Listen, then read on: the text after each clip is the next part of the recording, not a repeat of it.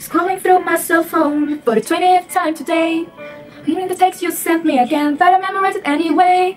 It was an afternoon in December when you my head off the day when we bumped into each other. And you didn't say hi cause I looked away, and maybe that was the biggest mistake of my life.